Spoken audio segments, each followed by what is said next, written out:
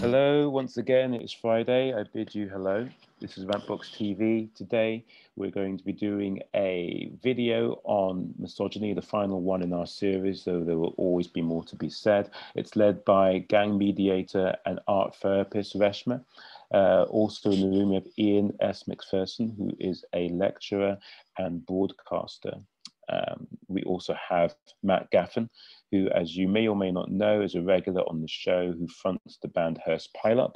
And you have myself. Um, by all means, it's a really heavy, intense um, video. Uh, trigger warning there is talk of domestic abuse and emotional abuse. Um, so yeah, if um, you think that it's a worthy conversation that needs to have um, nuanced uh, investigation, then by all means, check out the link, which should be in your Instagram bio if you're watching on Instagram. And if you're watching it on Facebook, the link is beneath my face. If you're watching it on YouTube, then there will be links to the full video as, um, as uh, advertised, I guess. So yeah, I hope you enjoy it and do part of the conversation in a positive way.